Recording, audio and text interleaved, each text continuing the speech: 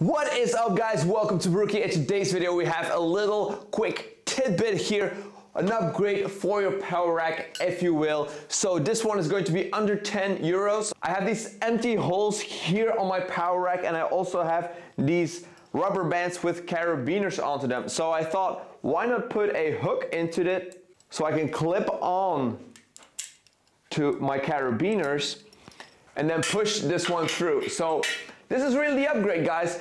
Let me show you how i did it. It's very easy. All you need is a bolt that is thick enough with a hook, some washers, and a lock nut. So let's do this. You take your ring, you take a washer, boom, put it in there, put this one through, like so, put a washer on the other side, boom, you make sure that the ring is like this, not like that.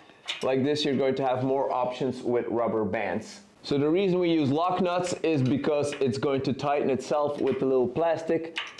And to tighten this thing a little bit easier, you take a screwdriver, take our carabiner, and you can start doing exercises.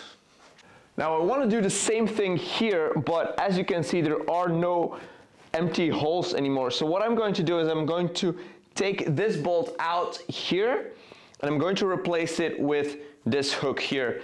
And as you can see, this one is a little bit larger and that allows me to uh, put in some rubber bands like this as well.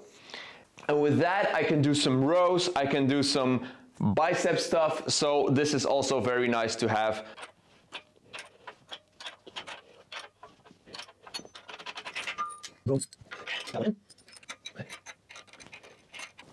So with this, what you can do is you take your rubber band, you push it through, loop it like so.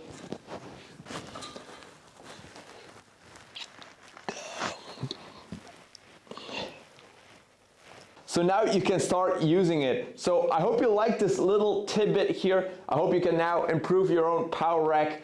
Please subscribe if you like more videos like this. And I guess I'll be seeing you all in the next video. Peace!